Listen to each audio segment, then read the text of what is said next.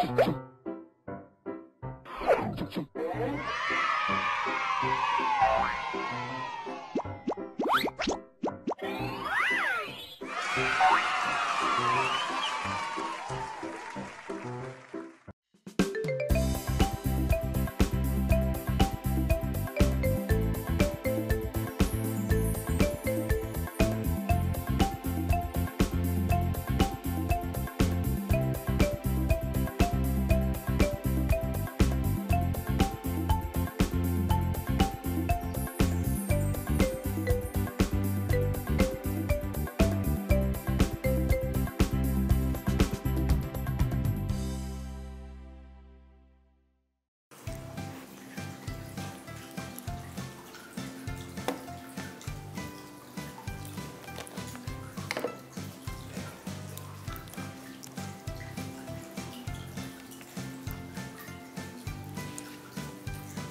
Selamat pagi teman-teman. Bagaimana kabar kalian hari ini? Apakah kalian sudah melakukan olahraga? Hmm, minimal jangan lupa untuk melakukan peregangan tiap pagi ya, supaya badan kita tetap sehat dan kalian juga jadi semangat untuk menjalani hari. Hari ini aku akan mengikuti acara dongeng virtual bersama penulis favoritku, Mbak Rati Kusuma. Dari beliau, kita akan belajar memahami tradisi apa atau sirip pinang, serta menulis pengalaman. Lalu, kita juga akan belajar kembali tentang kalimat fakta dan opini. Serta kita juga akan belajar tentang mean, median, dan modus. Karena itu, jangan lupa siapkan alat tulisnya ya. Dan jangan lupa juga untuk berdoa supaya pelajaran hari ini bisa lebih bermanfaat.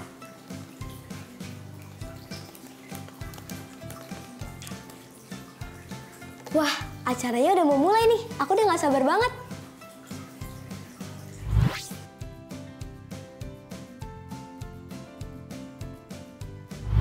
Halo adik-adik, apa kabarnya?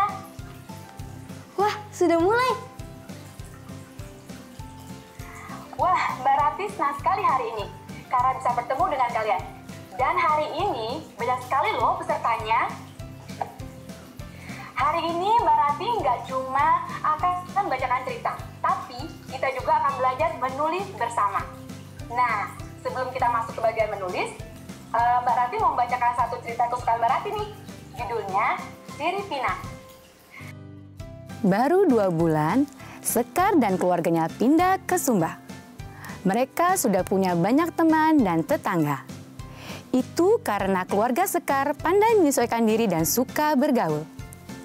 Hari ini, keluarga Sekar menghadiri undangan dari salah satu warga kampung. Sekar duduk, mengobrol, dan menikmati kue yang dihidangkan bersama Dina. Di dekat situ, orang tua Sekar juga sedang bercengkrama dengan para tamu.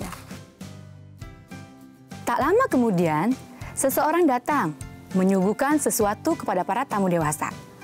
Sebagian segera mengambil suguhan itu. Sepertinya selembar daun. Di atasnya diberi sesuatu berwarna putih, kemudian digulung dengan daun tadi. Setelah itu, gulungan daun tersebut dikunyah. Gigi dan mulut orang yang mengunyah menjadi merah semua. Sekar kaget sekali. Baru kali ini dia melihat orang mengunyah sesuatu dan giginya seperti berdarah. Itu apa, Din? Kenapa orang yang memakannya menjadi berdarah gigi dan mulutnya? Tanya Sekar gusar. Sepertinya suguhan tadi menimbulkan masalah bagi yang memakannya. Dina tertawa. Itu bukan darah Sekar, warnanya saja kemerahan. Itu karena apa Sekar? Tradisi makan sirip pinang di tempat kami. Hapa melambangkan kekerabatan dalam pergaulan. Karena itu, sirip pinang biasanya disuguhkan di berbagai acara. Suguhan itu harus diterima untuk menghargai tuan rumah. Boleh dimakan, boleh juga dibawa pulang, atau diberikan kepada orang lain. Sekar diam saja, tradisi yang aneh batinnya. Seumur-umur, baru kali ini dia melihat gigi dan mulut orang menjadi kemerahan karena makan sirip pinang dengan kapur. Nah, menarik bukan? Tradisi Hapa ini hanya salah satu dari sekian banyak adat atau tradisi daerah yang memperkaya budaya di Indonesia. Selanjutnya, apa maksud tuan rumah menghidangkan sirip pinang pada para tamu tadi ya? Ada yang tahu? Wah, aku tahu nih. Teman-teman di rumah juga ada yang tahu. Kita jawab sama-sama yuk. Tuan rumah menyuguhkan sirih pinang sebagai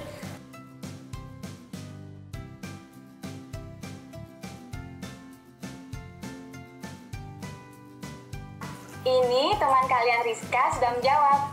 Dan jawabannya benar sekali. Kalian semua keren dan pintar. Oke, selanjutnya kita masuk ke sesi menulis ya adik-adik.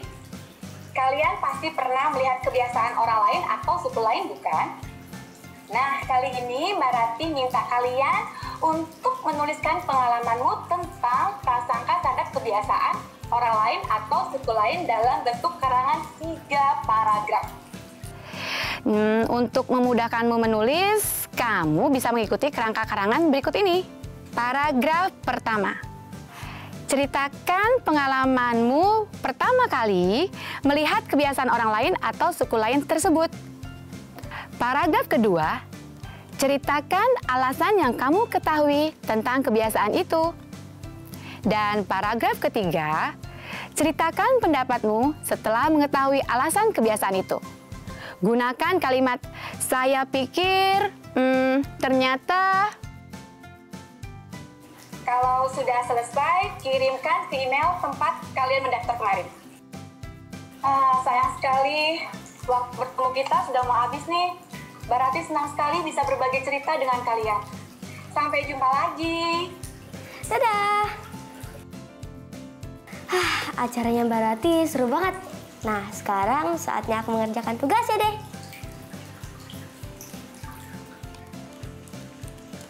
Hai Rizka. Eh, Ria sudah datang. Kamu lagi apa? Aku lagi mau mengerjakan tugas nih dari dongeng virtual Mbak Rati. Oh, penulis favoritmu itu ya? Eh, hari ini kan acaranya. Baru saja selesai. Sekarang aku mau mengerjakan tugas menulis pengalaman saat melihat kebiasaan orang lain atau suku lain. Oh iya, aku boleh numpang cuci tangan nggak? Boleh? Yuk aku antar. Oke. Eh,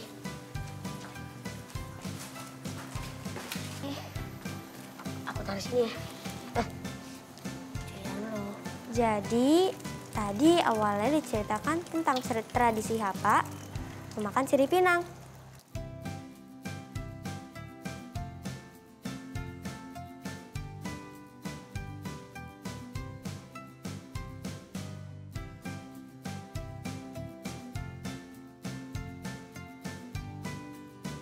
Ternyata acara dongeng virtual seru juga ya. Makanya, kapan-kapan ikut dong. Nih, diminum ya. Wah, terima kasih Riz. Sama-sama. Oh iya, nanti kamu mau tulis apa dong Riz? Hmm, aku lagi berpikir, apa aku tulis tentang Nyepi aja ya yang dari Bali? Dua tahun lalu, aku dan keluargaku pergi ke Bali pas hari raya Nyepi.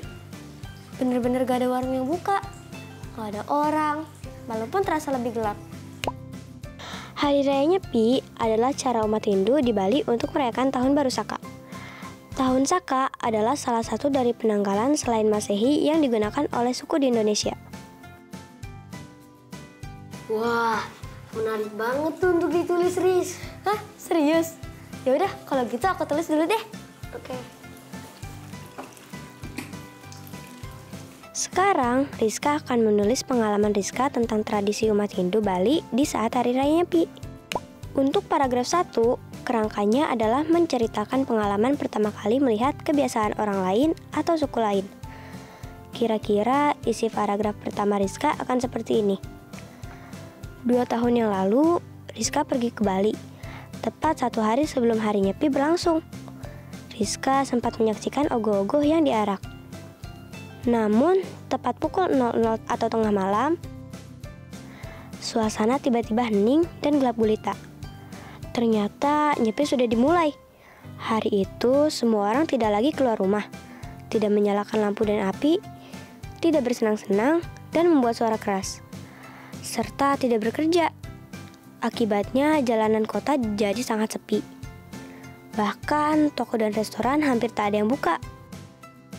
Lalu, untuk paragraf 2, kamu diminta menceritakan alasan yang kamu ketahui tentang kebiasaan itu. Oke, Rizka akan menulis, meski seluruh provinsi Bali jadi sepi, hening dan gelap, malam hari Rizka bisa melihat bintang-bintang, galaksi Bima Sakti dengan jelas di langit. Saat itu, Papa menjelaskan bahwa Nyepi memiliki arti agar kedatangan awal tahun disambut masyarakat dengan renungan dan evaluasi diri atas tahun-tahun yang telah lewat. Paragraf 3, kamu diminta untuk menceritakan pendapatmu. Setelah mengetahui alasan kebiasaan itu, gunakan kalimat saya pikir ternyata. Oke, saya pikir Nyepi itu adalah upaya masyarakat untuk tetap sederhana merayakan tahun baru tanpa pesta. Ternyata arti di balik nyepi justru lebih bermakna, yaitu sepi dari hiruk pikuk kehidupan untuk menyucikan alam semesta dan manusia. Selesai deh. Kira-kira hasilnya seperti ini.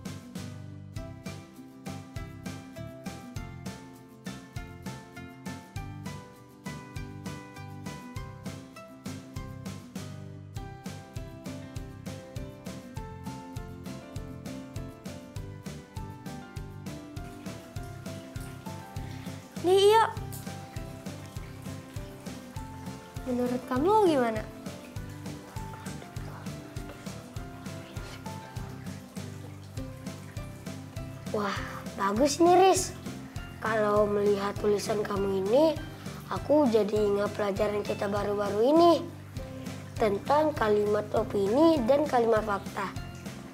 Nah, di tulisan kamu ini banyak sekali loh contohnya. Oh iya, aku juga ingat itu. Kalau teman-teman di rumah masih pada ingat nggak? Kalimat fakta itu adalah kalimat yang di dalamnya terdapat informasi yang sebenarnya. Biasanya kalimat ini dapat menjawab pertanyaan apa, siapa, kapan, di mana, mengapa, dan bagaimana. Contoh kalimat fakta adalah baru dua bulan Sekar pindah ke Sumba. Dia sudah punya banyak teman.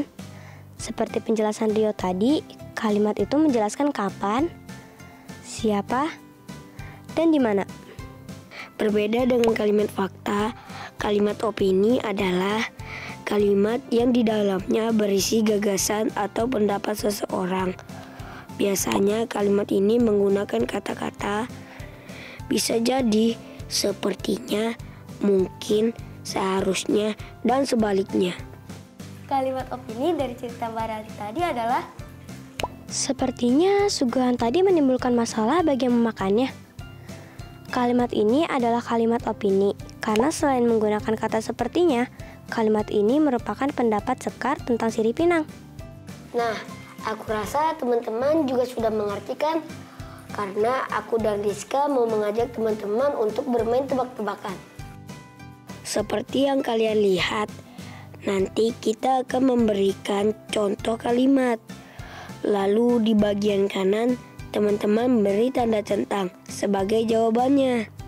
Kalimat pertama, tradisi Hapa melambangkan kekerabatan dalam pergaulan pada masyarakat Sumba. Fakta atau opini? Adi menjawab fakta, Riz. Apakah jawabannya benar? Jawabannya benar, karena kalimat ini mengandung informasi yang sebenarnya. Kalimat kedua, bisa jadi mengunyah sirih menjadi kebiasaan banyak suku di Indonesia. Apakah fakta atau opini? Karena di dalam kalimat ini ada kata bisa jadi. Maka kalimat ini adalah opini. Selanjutnya kalimat ketiga. Menurut sensus Badan Pusat Statistik, ada sekitar 1340 suku di Indonesia. Wah, kalau ini mah udah jelas banget. Soalnya ada di datanya juga. Jadi jawabannya apa teman-teman? Betul, fakta. Kalimat keempat. Para pelajar seharusnya mengenal budaya atau tradisi suku di tempat tinggalnya. Fakta atau opini. Kalimat ini menggunakan kata seharusnya dan merupakan pikiran seseorang. Berarti jawabannya tentu saja opini. Kalimat terakhir. Sekar dan Dina sekelas di SD Tunas Muda. Apakah kalimat fakta atau opini? Betul. Kalimat ini menjelaskan siapa dan di mana. Maka kalimat ini adalah kalimat fakta. Wah, teman-teman hebat semua.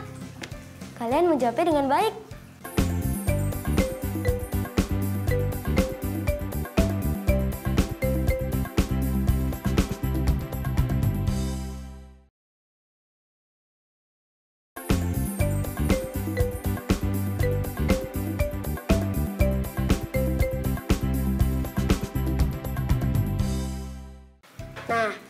Kali ini kita akan mengerjakan PR yang berhubungan dengan mean, median, dan modus.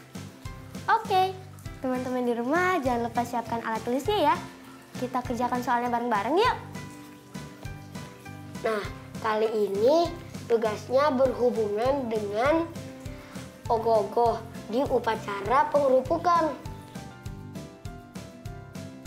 Sehari sebelum hari raya Nyepi, ada ritual yang bernama pengerupukan. Tujuannya untuk menolak bala dan mengusir roh jahat. Saat ritual pengerupukan, umat Hindu membuat ogoh-ogoh, yaitu patung berwujud sosok besar dan menakutkan. Kemudian mengaraknya keliling lingkungan setempat dan membakarnya. Ogoh-ogoh umumnya dibuat secara gotong royong oleh pemuda-pemudi di suatu banjar atau RW setempat. Kerangkanya dibuat dari bambu, kemudian dilapisi dengan kertas koran, busa gabus, dan kertas warna. Tugas pertama adalah susunlah tinggi ogoh-ogoh ini dari yang paling rendah sampai yang paling tinggi. Yuk teman-teman, kita urutkan bersama. Dimulai dari yang terendah yaitu ogoh-ogoh yang tingginya 2 meter, lalu 7 meter, 8 meter, 8,5 meter, 9 meter, 9 meter, kemudian 10 meter, 10,5 meter, dan yang tertinggi 21 meter. Datanya sudah kita urutkan. Nah, tugas kedua kita adalah berapa tinggi ogoh-ogoh di kota Denpasar. Berarti kita hanya harus menyebutkan satu bilangan yang paling mewakili tinggi ogoh-ogoh itu ya? Iya, kira-kira konsep apa ya yang tepat untuk digunakan? Karena ini mencari data yang mewakili, berarti kita sebaiknya mencari rata-rata dengan konsep min.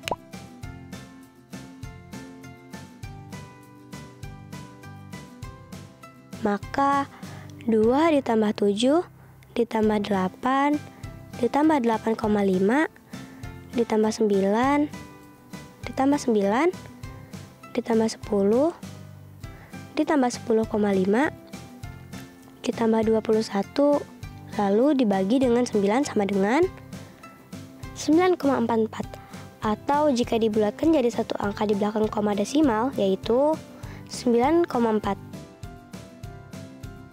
Hmm, tapi sepertinya konsep ini kurang tepat digunakan untuk mencari bilangan yang mewakili data. Hmm, kenapa? Data yang ada terlalu bervariasi dengan perbedaan nilai yang cukup jauh. Seperti 2 meter dengan 21 meter. Sehingga bilangan rata-rata jadi kurang mewakili. Oke, kalau modus? Hmm, kayaknya ini juga kurang bisa mewakili Deris. Coba kamu perhatikan deh kemunculan data yang sama. Hanya dua dari sembilan yang ada. Terlalu sedikit bukan? Karena itu kurang tepat mewakili tinggi ogoh-ogoh yang ada.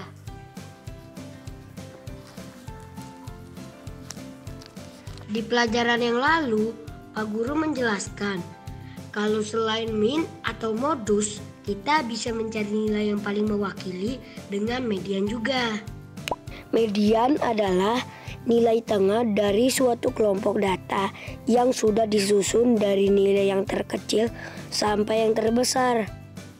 Median dari data tinggi ogoh-ogoh ini adalah 9 meter. Aku udah paham sih maksudnya, tapi masih sedikit bingung aja. Kita coba satu soal lagi yuk. Berikut ini adalah panjang tiang bambu yang digunakan untuk membuat nyangga. Berapakah ukuran yang paling mewakili dari kelompok data ini? Oke.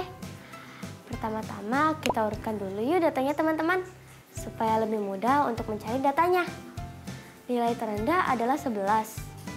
Lalu 12, 12, 13, 13,5, 15, 15,5, 16, 17, 18, dan yang terpanjang 45. Sekarang kita eksplorasi datanya berdasarkan penjelasan Rio tadi. Karena datanya terlalu bervariasi dengan perbandingan nilai yang cukup besar seperti 11 dan 45, maka penggunaan konsep min untuk mencari bilangan yang mewakili tidaklah tepat. Lalu bagaimana dengan modus? Modus dari data ini adalah 12. Namun kemunculannya hanya dua kali dari total 11 yang ada, sehingga modus kurang tepat digunakan untuk mencari bilangan yang mewakili. Dengan begitu, nilai yang paling mewakili adalah mediannya, yaitu 15.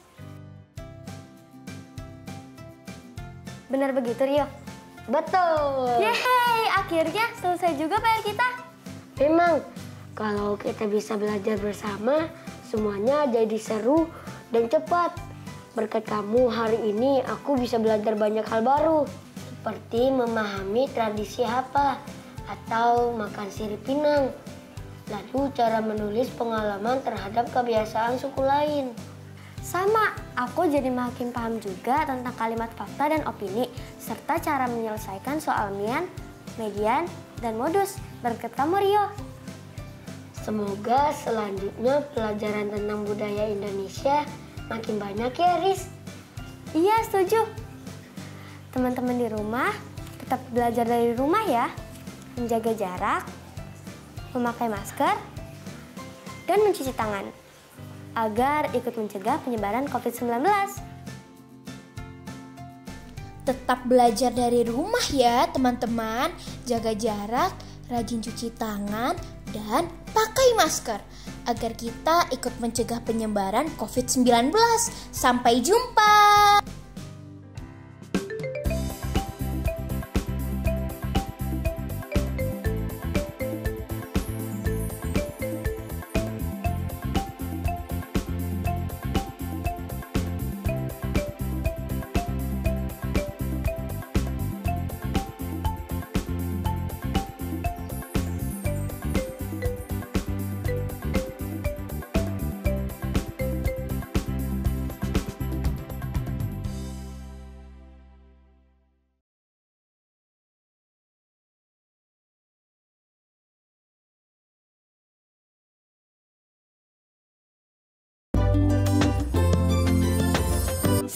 Sering-sering cuci tangan.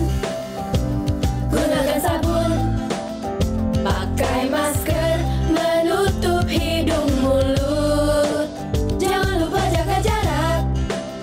Saat ketemu orang Makan yang bergizi Jaga kesehatan.